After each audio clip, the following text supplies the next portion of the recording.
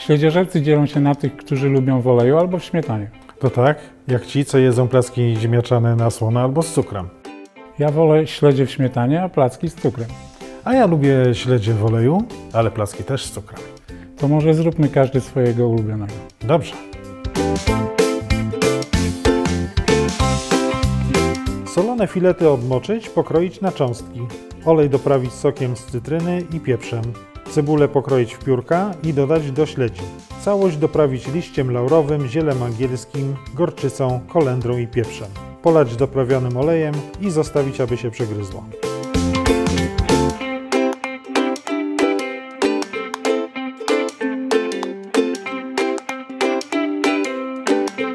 Odmoczone śledzie pokroić w cząstki.